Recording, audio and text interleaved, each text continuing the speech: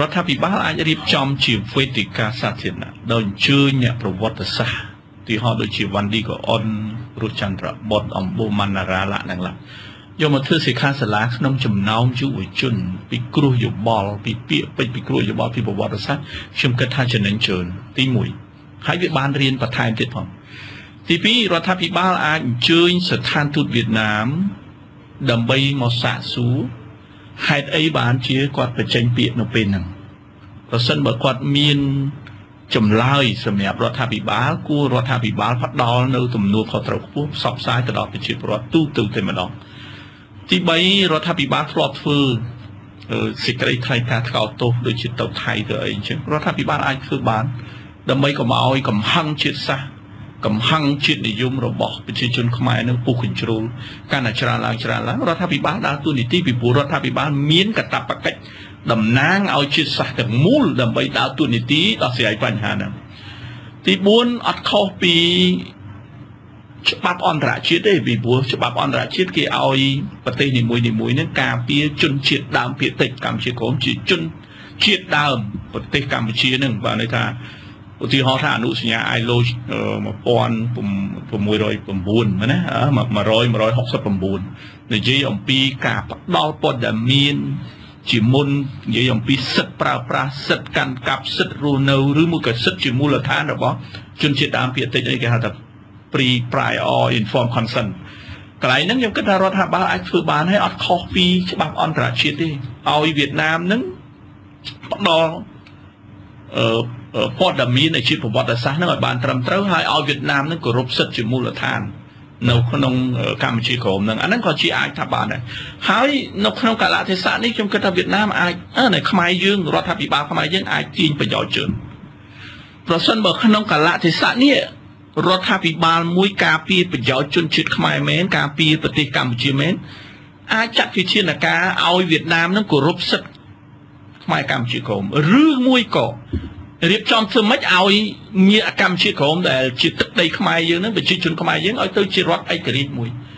រដ្ឋាភិបាលកម្ពុជាអាចទៀមទាអានឹងបានបើយើងមិនទៀមទាយកទឹកដីមកវិញក៏អាចទៀមទាឲ្យជារដ្ឋឯករាជ្យពីព្រោះ model នៅលើពិភពលោកច្រើនដែលដែលដែលលេចចេញរូបរាងហ្នឹងពីព្រោះជនជាតិខ្មែរយើងកម្ពុជាក្រមនៅនឹងច្រើនហើយជាប្រកបនិយាយទៅជាទៅបែរជាលោកបណ្ឌិតឲ្យទៅជារដ្ឋឯករាជ្យមួយដែល មិនមកខាងកម្ពុជាមិនទៅខាងវៀតណាមធ្វើបែបណាបាទជារួមប្រសិនបើរដ្ឋាភិបាលមួយផ្ដល់តំណែងតំណងបាទនេះថាភ្ជាប់ផ្សារភ្ជាប់តំណែងតំណងរវាងខ្មែរលើ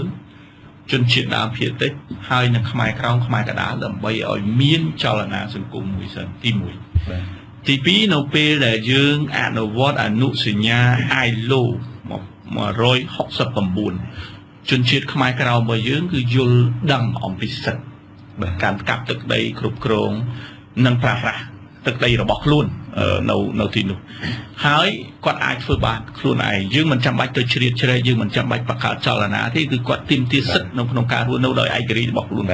មានសំណួររបស់ប្រិយមិត្ត អ្នកស្ដាប់វិទ្យុអាស៊ីសេរីដែលផ្ញើតាម Facebook ច្រើនណាស់ហើយសំណួរហ្នឹងគឺតម្រង់មកលោកបណ្ឌិតកែមលីតែម្ដងហើយស្តៀងគ្នានឹងអ្វីដែលលោកបណ្ឌិតបានឆ្លើយវិញដែរប៉ុន្តែគាត់ថាមិនចង់ឲ្យបង្កើតរដ្ឋឯករាជ្យទេគាត់បែបមិនបាននឹកឃើញចំណុចហ្នឹងទេគាត់នឹកឃើញថាតើកម្ពុជាអាចដណ្ដើមយកកម្ពុជាក្រៅមកវិញបានឬទេឆ្លើយយ៉ាងខ្លីសិនលោកបណ្ឌិតបានឬមិនបានខ្ញុំមានសង្ឃឹមច្រើនបាទបាទប៉ុន្តែ មានជំរើសច្រើនមុននឹងទៀមទាយកទៅចេញយើងសន្យាចំពោះលោកអ្នកស្ដាប់តែថ្ងៃណាមួយយើងនឹងទៅជែកគ្នាម្ដងទៀតថាតើធ្វើយ៉ាងម៉េចដើម្បីបានទៅកម្ពុជាក្រៅមកវិញអីយើងមានទាំងកត្តានយោបាយ យើងមានទាំងកត្តាច្បាប់យើងមានទាំងកត្តាភូមិសាស្ត្រវិទ្យាសាស្ត្រប្រជាសាស្ត្រហើយកត្តាវប្បធម៌ទៅទៀតវត្តអារាមប្រពៃណីទំនៀមទម្លាប់យើងនៅច្រើនណាកាលណាគេយើងទៅផ្ដឹងផ្ដល់របៀបរបបហ្នឹងគឺយើងអាចផ្ដឹងផ្ដល់បានដូចផ្លូវច្បាប់យើងមានផែនទីតម្កល់នៅអង្គការសហជីវជាតិទៅមិនដែរហើយយើងមានយើងមានតែប្រទេសមួយប្រទេសទី3មួយបកគលឲ្យហើយអញ្ចឹងតើតើផ្លូវច្បាប់យ៉ាងណាដែរខ្ញុំគិតថាជំនាន់ហ្នឹងគឺមានន័យថារដ្ឋាភិបាលកម្ពុជាមិនបានបកគលឲ្យទេ គឺមានប្រទេសមួយបកគលឲ្យអញ្ចឹងបើសិនជាប្រទេសមួយបកគលឲ្យអញ្ចឹងខ្ញុំអាចបកគលអាមេរិកហ្នឹងទៅឲ្យចិនបានមែនទេហើយចិនអាចទៅគ្រប់គ្រងនឹងបានអត់បានទេតើអាមេរិកហ្នឹងបកគលឲ្យដែរបាទបាទអរគុណខ្ញុំយាងទៅខាងតំណាងយុវជនម្ដងលោកនាយករដ្ឋមន្ត្រីហ៊ុនសែនថ្មីថ្មីនេះបានបញ្ជូនសារទៅខាងគណៈបព្វប្រឆាំង ថាសូមមេត្តាកុំហៅគាត់អាយ៉ងទៀត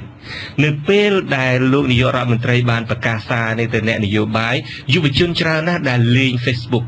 បានឆ្លើយថាគេនៅតែហៅអាយ៉ងបើសិនជាលោកនាយករដ្ឋមន្ត្រីធ្វើអញ្ចេះធ្វើអញ្ចេះធ្វើអញ្ចេះតាមវៀតណាមតែខាងយុវជនវិញតើមានយោបល់បែបណាដែរចំពោះចំណុចហ្នឹងលោកម៉ៅពិសេសជាពិសេសតកតងទៅនៅរឿងដំណោះស្រាយបញ្ហាកម្ពុជាក្រោមនេះបាទ ការលើកឡើងរបស់លោកហ៊ុនសែននៅក្នុងសភាពេលថ្មីថ្មីនេះគឺចំពោះខ្ញុំក្នុងនាមសហព័ន្ធនិស្សិតបញ្ញវន្តកម្ពុជា គឺយើងមិនអាចទទួលយកបានទេ ហើយខ្ញុំសូមផ្ញើសារថាលោកហ៊ុនសែនប្រហែលជាអាចស្នើឲ្យលោកសំរងស៊ីឈប់ហៅគាត់អាយ៉ងយួនបានប៉ុន្តែគាត់មិនអាចបិទមាត់ ប្រជាពលរដ្ឋយុវជនដទៃទៀតឲ្យឈប់ហៅគាត់ថាយ៉ងរបស់យួនបានទេ ហើយដោយសារអីដោយសារតែទង្វើរបស់គាត់ជាក់ស្ដែងបើសិនជាគាត់ចង់ឲ្យគេឈប់ហៅជាអាយ៉ងលុះត្រាតែគាត់កែកែអញ្ចឹងការកែជាក់ស្ដែងគឺ ចំពោះអាយ៉ងយួននេះ បើសក់សិនជាគាត់ មិនអាយ៉ងយួនគាត់ត្រូវតែធ្វើយ៉ាងម៉េចបំរើផលប្រយោជន៍ជាតិខ្មែរពិតប្រាកដហើយឈប់បំរើឲ្យយួនអានឹងទើបតែយើងអាចទទួលយកបានលោកឲ្យឧទាហរណ៍មួយពីរមើលត្រង់ណាដែលថាមិនបំរើផលប្រយោជន៍ខ្មែរពិតប្រាកដគាត់ទៅមកសម្ពោធស្ពានស្ទឹងជ័យក្បែរវិទ្យុយើងនេះគឺដើម្បីប្រយោជន៍យើងទាំងអស់គ្នាតាចំណុចមួយដែលសំខាន់មែនទែនគឺនៅក្នុងឆ្នាំ2000 ស្ដើង2004 2005គាត់បានចុះសន្ធិសញ្ញាបន្ថែមមួយកាត់កោះត្រល់ទៅឲ្យវៀតណាមជាផ្លូវការហើយខ្ញុំឃើញនៅផែនទីចេញឆ្នាំ1999នៅខាងក្រៅបន្ទប់ផ្សាយរបស់អាស៊ីសេរីនេះគឺកោះត្រល់នៅជារបស់ខ្មែរនៅឡើយទេអញ្ចឹងនេះចំណុចទី1ដែលយើងមិន អាចទទួលយកបាន ទី2ខាងសហព័ន្ធនិស្សិតបញ្ញវន្តកម្ពុជារបស់យើង យើងធ្វើបាតកម្មសម្ដែងមតិទៀមទីឲ្យមានការសុំទោសជាសាធារណៈពីមន្ត្រីស្ថានទូតវៀតណាមថ្ងៃទី8ជាលើកទី1យើងជាយុវជន យើងគ្រាន់តែចង់ជួបជុំគ្នាសម្ដែងមតិឆន្ទៈស្នេហាជាតិតែគាត់បានប្រើកម្លាំងមកដេញវាយយើង ហើយដេញវាយយើង នៅលើទឹកដីរបស់ខ្មែរនៅមុខស្ថានទូតវៀតណាមទៀតនេះចំណុចទី1ចំណុចមួយទៀតយើងធ្វើថ្ងៃទី21មុនថ្ងៃទី21អាញាធរក្រុងភ្នំពេញគម្រាមកំហែងយើងថែមទៀតអញ្ចឹងនេះគ្រាន់តែជាឧទាហរណ៍តូចបំផុតដែលបញ្ជាក់ថាគាត់គឺមិនបំរើ ប្រជាពលរដ្ឋខ្មែរបានពេញលេញនៅឡើយទេបាទបាទអរគុណលោកពិសេសលោកចន្ទរិទ្ធមានអីបន្ថែមទេបាទបាទអឺខ្ញុំសូមបន្ថែមតិចក្រោយពេលដែលលោកមិត្តកម្មលៃលើកឡើងតិចតកតងនឹងអឺការទទួលខុសត្រូវរដ្ឋាភិបាលកម្ពុជា យើងឃើញថាអឺការចេញមុខមកសន្យាទទួលយកញត្តិពីអឺអ្នកតវ៉ាឬក៏ក្រុមបាតកោនេះគឺជាភាពកំសោយមួយរបស់រដ្ឋាភិបាលហើយ ហើយក៏ជាអត្តពលមួយដែលខ្មែររដ្ឋាភិបាលខ្មែរស្ថិតនៅក្រោមវៀតណាមដែរដោយសារហេតុអីព្រោះរឿងនេះមិនមែនជារឿងផុសរដ្ឋាភិបាលខ្មែរទៅចេញមុខទេគឺរដ្ឋាភិបាលខ្មែរត្រូវតែសម្របសម្រួលទៅតែជំរុញឲ្យរដ្ឋាភិបាលវៀតណាមនេះចេញមកទទួលយកញត្តិដោយខ្លួនឯងមិនទៅរដ្ឋាភិបាលខ្មែរមកចេញមកទទួលអញ្ចឹងទេ ហើយអ្វីដែលអាដាមឡុងវិសាឡូបាននិយាយថារឿងនេះជារឿងតូចតាចនេះលោកត្រូវគិត ថាតើរឿងនេះ ជាការបាត់បង់ទឹកដីមួយផ្នែករបស់កម្ពុជាឬយ៉ាងណា ដែលលោកគិតថាជារឿងតូចតាចអឺលោកត្រូវគិតឡើងវិញថានេះគឺជារឿងប្រវត្តិសាស្ត្រហើយវាប៉ះពាល់ដល់ខ្មែរកម្ពុជាក្រោមរាប់លានអ្នកដែលកំពុងរងគ្រោះនៅកម្ពុជាក្រោមហើយកន្លងមកអឺរដ្ឋាភិបាលជាពិសេសខាងក្រសួងការបរទេសបានផ្ញើជាសារលិលាអសរមកខ្មែរកម្ពុជាក្រោមថាខ្មែរក្រោមនៅកម្ពុជាក្រោមគឺជាពលរដ្ឋ វៀតណាមមិនមែនជាខ្មែរទេទេនេះជាសារបង្ហាញថារដ្ឋាភិបាលខ្មែរមិនមានឆន្ទៈណាមួយក្នុងការការពារសិទ្ធិនិងអត្ថប្រយោជន៍របស់ខ្មែរនៅនឹងទេហើយមួយទៀតក៏យើងឃើញថាប្រហែលឆ្នាំកន្លងមកនាយករដ្ឋមន្ត្រីក៏បានប្រើពាក្យគម្រាមដល់ខ្មែរក្រោមថាប្រសិនបើអ្នកណាហ៊ានតវ៉ាយកទឹកដីកម្ពុជាក្រោមគាត់នឹងផ្ញើក្តាមឈូសមួយ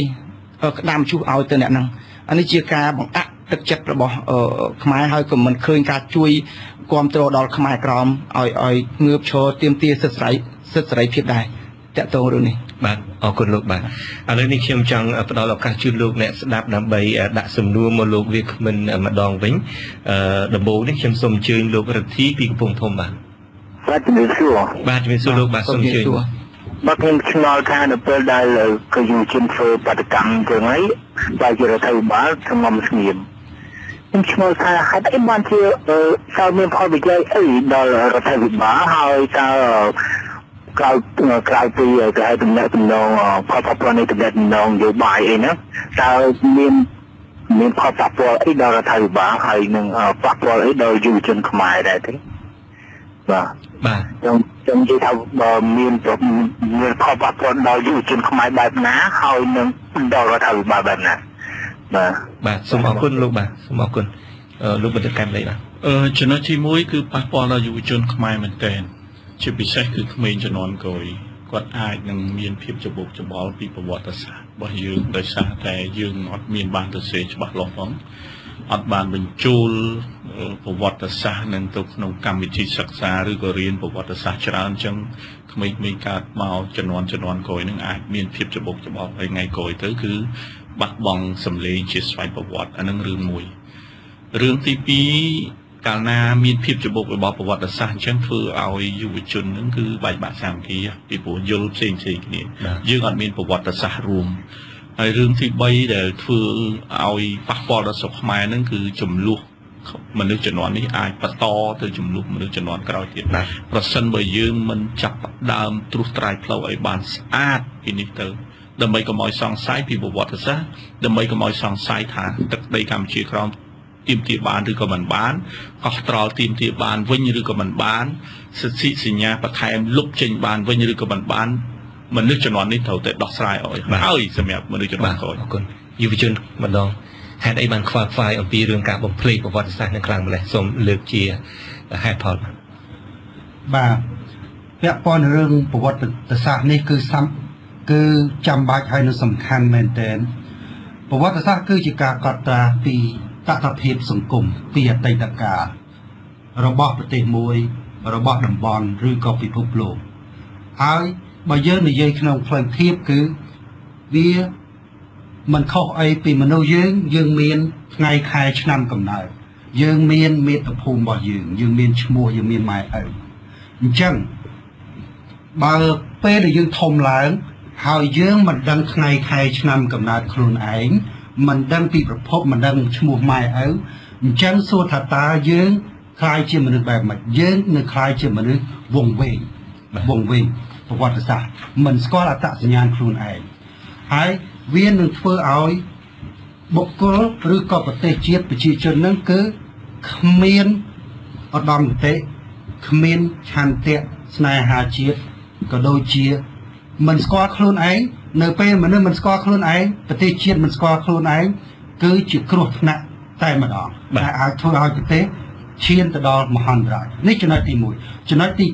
2ការដែលបំភ្លៃប្រវត្តិសាស្ត្រវានឹងអាចនាំទៅដល់មហន្តរាយដល់តំបន់និងពិភពលោក ដែលអាចនឹងកើតមានសង្គ្រាមសង្គ្រាមលោកឬក៏ក្នុងតំបន់នៅពេលដែលការអប់រំអំពីប្រវត្តិសាស្ត្រមានលក្ខណៈបំភ្លើស បែបនេះជាឧទាហរណ៍ជាក់ស្ដែងការបំភ្លើសរបស់វៀតណាម គឺជាកត្តាញុះញង់ឲ្យមានការបែកបាក់សាមគ្គីគ្នាក្នុងចំណោមប្រទេសអាស៊ានប្រទេសអាស៊ានដែលកម្ពុជាហើយនិងវៀតណាមគឺជាសមាជិករបស់អាស៊ាន ហើយជាប្រទេសដែលជាប់ភូមិរងទាំងមួយអញ្ចឹងវានឹងធ្វើឲ្យពិភពលោកមិនមានសន្តិភាពទេនេះគឺជាមូលហេតុចម្បងហើយនិងសំខាន់ចាំបាច់បាទបាទខ្ញុំអឺ សូមស្លេះការឆ្លើយត្រឹមប៉ុណ្ណេះនៅក្នុងការបន្ទប់ផ្សាយរបស់យើងខ្ញុំចង់ផ្ដល់ឱកាសជូនលោកអ្នកស្ដាប់ម្នាក់ទៀតពីកំពង់ចាមបាទឈ្មោះរិទ្ធីដែរលោករិទ្ធីពីកំពង់ចាមបាទហៅលោកបាទបាទអាឡូយូទូបបាទសូមអញ្ជើញបាទបាទបាទអាឡូយូទូបាទបាទយូទូអ្នកអ្នកប្រាប់ប៉ុទីទៅអស់នេះបាទខ្ញុំមិនយូទូដល់លោកនេះបាទខ្ញុំខ្ញុំចង់មានបញ្ហាចង់ទួនតិចរាល់ថ្ងៃនេះលោកវ៉ាន់ថងដែលទៅវៀតណាមនេះដែលលោកនិយាយថាកម្ពុជាក្រម ជារបស់ខ្លួនតាំងពីយុវជនហើយខ្ញុំចង់ទៅអស់ដឹងថាខេតអីបើលោកនិយាយចឹងលោកមិនមិនថាខេតទេមិនមិនមិនថាស្រុកមួយមុតទេមិនមិនថាស្រុកមេមុតទេតាមរបស់លោកត្មងទៅខ្ញុំចង់សួរសំណួរដល់លោកណៃកាន់លៃហើយលោកកាន់លៃខ្ញុំចង់មិញនិយាយលោកកាន់លៃថាលោកបានថាភ្លើងទៅចង់ឲ្យលុតបានប៉ុន្តែខ្ញុំមករកមើលទៅខ្ញុំថាភ្លើងថាជាមិនលុតទេព្រោះរងថ្ងៃអូខាងវិទ្យុរដ្ឋត្រីខ្ញុំតែគេកាន់ជើងយួនហ្នឹងណាខ្ញុំចង់សួរសំណួរដល់លោកកាន់លៃថាអើ គុណតែនេះមករត់តាឆ្នាំ1979ដែរអីហើយទៅហ៊ានជួនឲ្យមកអីជួយតំណគេហៅថា7មករាតើជួនហ្នឹងក៏ចង់បានកាលហ្នឹងអឺ40ទៅពេលហើយទៅពេលរស់បានសម្រាប់ហើយគេចង់បានតែដល់បើសារឿងចឹងខ្ញុំចង់សួរចឹងបាទអរគុណលោករដ្ឋាភិបាលសូមអញ្ជើញលោកបណ្ឌិតកែមលីបាទសូមអរគុណខ្ញុំគិតថាភ្លើងអាចរលត់បានប្រសិនបើរដ្ឋាភិបាលរៀបចំ ទឹកសម្រាប់ផលិតទឹកសម្រាប់ផលិតដែលមានប្រសិទ្ធភាព គឺជំរុញឲ្យរដ្ឋាភិបាលវៀតណាមគោរពនៅប្រវត្តិសាស្ត្ររបស់កម្ពុជាបាទហើយនឹងឲ្យរដ្ឋាភិបាលវៀតណាមនឹងគោរពសិទ្ធិខ្មែរកម្ពុជាក្រមឲ្យដូចជាខ្មែរយើងនៅក្នុងប្រទេសកម្ពុជាឲ្យដូចជាវៀតណាមដែលកំពុងតែរស់នៅក្នុងប្រទេសកម្ពុជាបើសិនជារដ្ឋាភិបាលចេញសេចក្តីថ្លែងការណ៍តែប៉ុណ្ណឹងក៏ភ្លើងនឹងអាចរលត់ដែរទី1 ទី2រដ្ឋាភិបាលត្រូវជំរុញឲ្យវៀតណាមអនុវត្តនៅអនុសញ្ញា ILO 169នេះខ្ញុំបានលើកឡើងហ្នឹងអំពីសិទ្ធិកាន់កាប់សិទ្ធិរស់នៅរស់រានមានជីវិត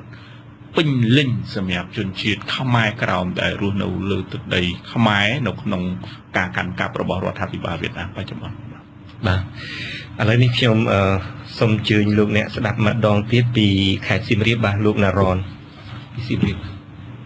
បាទឥឡូវនិយាយទៅបាទជំរាបសួរលោកបាទសូមអញ្ជើញបាទនិយាយទៅខ្ញុំនឹងដីផងបាទជំរាបសួរបាទខ្ញុំចង់គឺថាឲ្យបើមិនបាច់ទៅជារដ្ឋបတ်កម្មតវ៉ាជាមួយស្ថានទីចំណាំតែមានស្ថាប័នឬក៏រដ្ឋាភិបាលឬក៏រដ្ឋសភាអាចហៅស្ថានទីចំណាំឲ្យកំតូនឬក៏មកឲ្យប្រាយបំភ្លឺបណ្ដោយជារដ្ឋស្រាប់ចិត្តបានទេបាទសំណួរមានប៉ុណ្ណឹងទេលោកបាទ បាទនៅតែអរគុណជំរាបលាបាទយើងស្ដាយដែលហេតុថាតំណាងរដ្ឋាភិបាលមិនបានអញ្ជើញមកចូលរួមដោយលោកបានស្ដាប់លោកអ្នកស្ដាប់បានស្ដាប់ពីដំបូងហើយយើងព្យាយាមដែរបាទអឺក៏ប៉ុន្តែឥឡូវនេះយ៉ាងហោចណាស់យើងសួរវាគ្មិននៅក្នុងអឺបន្ទប់ផ្សាយយើងវិញទៅចុះតើស្ថាប័នណាដែលអាចហៅមកបានជារួមរដ្ឋាភិបាលអាចហៅមកបានពីព្រោះអឺទូតនីមួយនីមួយគឺអឺការបរទេសជាពិសេសបាទបាទសូមកាការរបបររទេសទេសខ្មែរយើងហ្នឹង ហៅអឺឯកអគ្គរដ្ឋទូតវៀតណាមដើម្បីយកមកជជែកពិភាក្សាឲ្យសំទោសឬឲ្យកែតម្រូវអីក្នុងកលៈទេសៈណាមួយហើយការដែលធ្វើបង្ងើយកតើយធ្វើមិនដឹងមិនលឺចេះតែចាត់វិជានៅការបង្ក្រាបចេះតែរូបមន្តមួយនឹងខ្ញុំគិតថារដ្ឋាភិបាលមិនទទួលបានជោគជ័យគ្រប់បែបយ៉ាងប្រសិនបើគាត់មានមេសូតទៅពីរឿងបង្ក្រាបហ្នឹងអឺ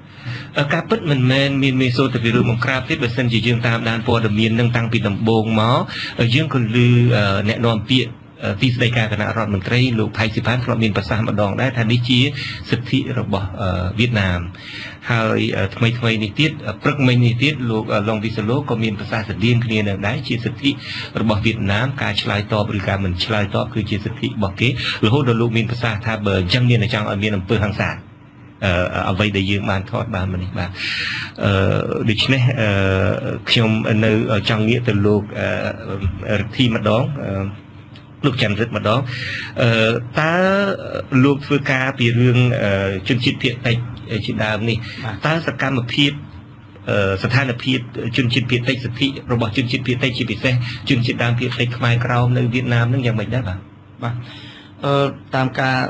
ស៊ើបអង្កេតនិងការស្រាវជ្រាវផ្ទាល់របស់ខាងអង្គការយើងខ្ញុំដែលធ្វើអឺកន្លងមកនេះយើងឃើញថានៅតែមានការរំលោភបំពានលើសិទ្ធិសេរីភាពរបស់ពួកគាត់ជាពិសេសគឺសិទ្ធិខាងសាសនាអឺហើយនឹងប្រពៃណីទំនៀមទម្លាប់ដែលពួកគាត់អឺខំប្រឹងថែរក្សារាប់អឺទសវត្សរ៍រាប់សតវត្សរ៍មកហើយគឺយើងលើកឃើញថាអាញាធរវៀតណាមមិនទាន់បានគោរពនិងបានអឺផ្ដល់នៅសិទ្ធិសេរីភាពដែលមានចែងអឺដូចអឺ ប្រទេសរដ្ឋាភិបាលវៀតណាមជាប្រទេសហត្ថលេខីបាទដល់អឺសិទ្ធិសញ្ញាអឺស្ដីវិសិទ្ធពលរដ្ឋសិទ្ធិនយោបាយហើយនឹងស្ដីប្រកាសជាសកលស្ដីវិសិទ្ធមនុស្ស ហើយនឹងអឺស្ដីប្រកាសរបស់ UN ស្ដីអំពីអឺសិទ្ធិជនជាតិដើមនៅអឺវៀតណាមគឺយើងឃើញថានៅមានការរំលោភហើយនៅមានខ្មែរក្រមដែលគាត់រត់ភៀសខ្លួនជាបន្តបន្ទាប់មកពីស្រុកកំណើតពីវត្តអារាមរបស់គាត់មកប្រទេសកម្ពុជាមកច្រើនទេលោកបាទមានស្ថិតិពិតប្រកបទេអឺមកដល់ពេលនេះគឺយើងឃើញថាមួយឆ្នាំអាចមានអឺពី40នាក់ដែរប៉ុន្តែក្នុងឆ្នាំមួយឆ្នាំ40នាក់បាទប្រហែលជា 40នាក់ទេដែលអ្នកដែលមានការភៀសខ្លួនដោយសាររឿងនយោបាយនិងការអត់តែអ្នកបាទខាងបាទប៉ុន្តែអ្នកដែលមករកស៊ីតាក់ទងនឹងអឺជីវភាពរស់នៅគឺយើងមានច្រើនប៉ុន្តែយើងអត់ដោតទេដោយសារតែអត់ពាក់ព័ន្ធនឹងសិទ្ធិសេរីភាពប៉ុន្តែតាក់ទងនឹងអឺជីវភាពរស់នៅចុះភាពបើក្រីនិក្រយាយពីសិទ្ធិរបស់ខ្មែរក្រោមនៅក្នុងអឺទឹកដីខ្មែរកណ្ដាលនេះវិញយ៉ាងម៉េចដែរបាទអឺគាត់នៅតែប្រឈមនឹងបញ្ហាដដែលគឺតាក់ទងនឹងរឿងសិទ្ធិទទួលបានសញ្ជាតិ គឺតាមការអឺស្រាវជ្រាវរបស់ខ្ញុំគឺនៅមាន30%ទៀតដែលគាត់អត់ទាន់មានអឺសញ្ជាតិច្បាស់លាស់ទេនៅក្នុងប្រទេសកម្ពុជានឹងដោយសារតែអាជ្ញាធរនៅខេត្តមួយចំនួនដូចជានៅខេត្តអឺកោះកុងនៅកំពង់សោមនៅអឺខេត្តតកែវក៏ខេត្តកណ្ដាលហើយក្រុងបរសេនុហើយនឹងខេត្តផ្សេងទៀតអឺនៅភ្នំពេញក៏ដោយក៏នៅមានពួកគាត់អឺមិនទាន់បានដល់នៅអត្តសញ្ញាណជាសញ្ជាតិខ្មែរដែរហើយជាពិសេសគឺអឺ គាត់អឺក្មេងទូទួយដែលពុំទាន់មានអឺសម្បត្តិកំណត់អីគឺដល់អាយុដែលទៅរៀនហ្នឹងគឺថានៅប្រឈមមុខនឹងបញ្ហាអឺមិនបានចូលរៀនទេ ហើយអឺមួយទៀតបើសិនបើគាត់ចង់បាន គឺគេត្រូវបង្ខំឲ្យពួកគាត់ហ្នឹងបដូរអំពីអត្តសញ្ញាណជាពិសេសគឺគាត់អាចបាត់បង់នឹងអឺអត្តសញ្ញាណរបស់គាត់ដែលជាជនជាតិអឺអឺ ខ្មែរដែលគាត់មានដើមកំណើតពីកម្ពុជាក្រោមវៀតណាមដាក់ត្រកូលគាត់ឈ្មោះអឺថាច់សឿនគឹមឬក៏ចៅអីផ្សេងផ្សេងហ្នឹងគឺមកដល់ខ្មែរគឺគាត់ត្រូវតែធ្វើការផ្លាស់ប្ដូរប៉ុន្តែបញ្ហាមួយទៀតដែលជាបញ្ហាចម្បងរបស់គាត់ហ្នឹងគឺអត់អាចទទួលបាន គឺពេលដែលគាត់មកដល់ប្រទេសកម្ពុជា គឺគាត់អត់មានអត្តសញ្ញាណឬអត់មានអឺអឺអាសយដ្ឋានជាក់លាក់ទេបាទដែលគាត់អាចសុំអឺអឺលិខិតបញ្ជាក់ដូចជាសម្បត្តិកំណើតឬក៏ អឺសិភៅស្នាក់នៅសិភៅគ្រួសារឬក៏អត្តញ្ញាណប័ណ្ណហ្នឹងគឺអាជ្ញាធរបដិសេធតែម្ដងគឺរឿងហ្នឹងហើយមួយទៀតគឺអាជ្ញាធរខ្មែរបានសន្យាថាខ្មែរក្រមជាពលរដ្ឋខ្មែរគាត់បានសរសេរជាលាខអក្សរទៅភ្នាក់ងាររបស់អង្គការជាតិថាខ្មែរក្រមគឺជាពលរដ្ឋខ្មែរអញ្ចឹងហើយវាពាក់ព័ន្ធនឹងខ្មែរក្រមទាំងឡាយណាដែលធ្វើអឺការស្នើសុំសិទ្ធិការពារអឺតាមផ្លូវច្បាប់ដោយ អង្គការសហជាតិទទួលបន្ទុកសាសនជាពុខ្លួនគឺគេអាចទម្លាក់គាត់ដោយស្វ័យប្រវត្តិដោយសារតែទោះបីជារឿងគាត់ហ្នឹងវាជារឿងអឺនយោបាយធ្ងន់ធ្ងរយ៉ាងណាក៏ដោយគឺគេអាចទម្លាក់ចោលតែម្ដងបាទអរគុណលោកច័ន្ទរិទ្ធបាទអឺខ្ញុំសូមអញ្ជើញលោកអ្នកស្ដាប់ហៅម្នាក់ទៀតជាចុងក្រោយអឺសួរសំណួរម្នាក់ទៀតបាទលោកអឺនីពីជប៉ុនបាទសូមអញ្ជើញហៅលោកបាទហើយជំរាបសួរបងបាទបាទសូមអញ្ជើញលោកបាទយើងមានពេលបាទអឺចង់ខ្លីសួរទៅ បណ្ឌិតលោកបណ្ឌិតកែមនេះថាតើរដ្ឋាភិបាលកម្ពុជាសប្តាហ៍ហ្នឹងបានគិតពីសិទ្ធិនៃប្រជាជនកម្ពុជាក្រោមដូចជាប្រទេសខ្មែរគិតពីសិទ្ធិរបស់ប្រជាជនវៀតណាមនៅក្នុងប្រទេសកម្ពុជាដែរទេបាទបាទលោកមិនមែនខាងរដ្ឋាភិបាលទេប៉ុន្តែលោកជាអ្នកស្រាវជ្រាវអ្នកវិភាគដែរតើលោកឃើញថារដ្ឋាភិបាលគិតពីសិទ្ធិរបស់អឺខ្មែរក្រោមដូចជាសិទ្ធិរបស់អឺជនជាតិវៀតណាមរស់នៅស្រុកខ្មែរទេ តាមពិតទៅយើងមានសេចក្តីប្រកាសអេស៊ីនមួយនិយាយអំពីកិច្ចគាំពៀនិងការលើកទឹកចិត្តបាទដល់ជនជាតិផ្សេងផ្សេងដែលរស់នៅប្រទេសនីមួយនីមួយៗប៉ុន្តែខ្ញុំសង្កេតមើលតាំងពីឆ្នាំ1979រហូតមកដល់ពេលបច្ចុប្បន្ននេះមិនដែលឃើញកាយវិការណាមួយ ដែលរដ្ឋាភិបាលយកចិត្តទុកដាក់ដល់ខ្មែរក្រោមទេ ក្នុងនាមជានាយករដ្ឋមន្ត្រីក្នុងនាមជារដ្ឋមន្ត្រីការបរទេសវាគួរតែមាន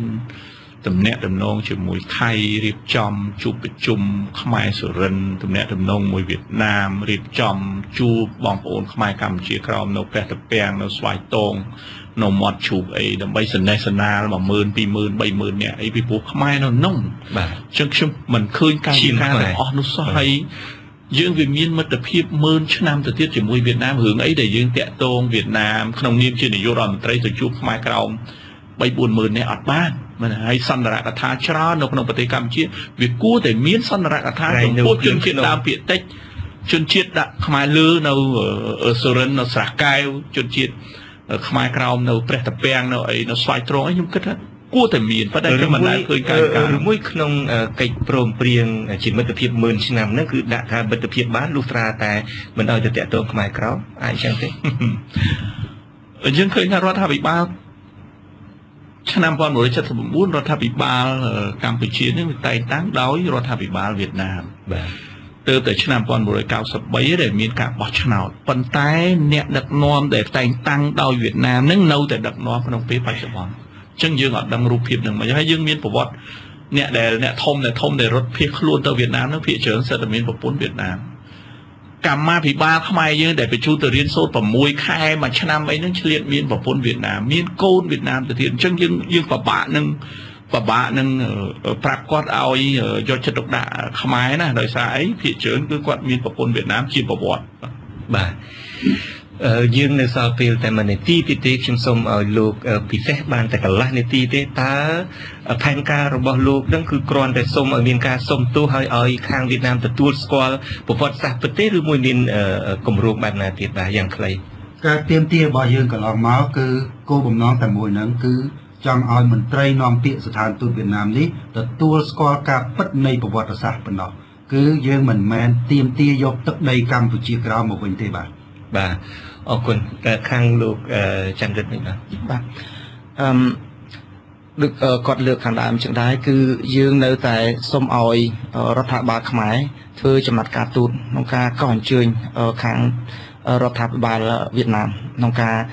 ធ្វើការសម្រុះសម្រួលដើម្បីរកនីតិរកដំណោះស្រាយតាមផ្លូវច្បាប់ ឬក៏តាមការទូតដើម្បីបញ្ជៀសនៅ ការរើសអើងឬក៏មានហិង្សាខាងចិត្តសាស្ត្រអាចកើតឡើងបើមិនបើមិនមានការដោះស្រាយទេបាទលោកបណ្ឌិតកម្មលេខចុងក្រោយផុតកន្លះនីតិដែរតើបើសិនជាដំណោះស្រាយនេះប៉ះដោះស្រាយអត់បានទេអឺហើយភ្លើងនៅតែចេះទេដែលវាអត់ដល់លួតបានទេតើប៉ះពាល់ដល់អធិបតេយ្យភាពរបស់ខ្មែរប៉ុណ្ណាដែរខ្ញុំគិតថាយុទ្ធសាស្ត្របំបែកទិសនៃការចាប់អារម្មណ៍របស់វៀតណាមអាចនឹងបន្តទៅទៀតពីព្រោះ វៀតណាមអត់ចង់ឲ្យខ្មែរយើងចាប់អារម្មណ៍រឿងកោះរឿងសន្ធិសញ្ញាបន្ថែមរឿងជនជាតិវៀតណាមដែលហូរចេញពីប្រទេសវៀតណាមមកប្រទេសកម្ពុជាទេហើយការដែលខំតវ៉ារឿងទឹកដីកម្ពុជាក្រោមវៀតណាមដឹងច្បាស់ថាអឺការតវ៉ាហ្នឹងគឺចំណាយពេលមិនសូវជាមានប្រយោជន៍ប៉ុន្តែការប្របែទិសដៅនេះគឺជាយុទ្ធសាស្ត្ររបស់វៀតណាមមួយដែរអរគុណបាទដល់ពេលវេលាហើយបាទខ្ញុំបាទសូមអរគុណលោកអ្នកស្ដាប់ទាំងអស់ហើយអរគុណលោកលីខ្វិនបាទកម្មវិធីយើងចាប់តែត្រឹមនេះបាទសូមអរគុណ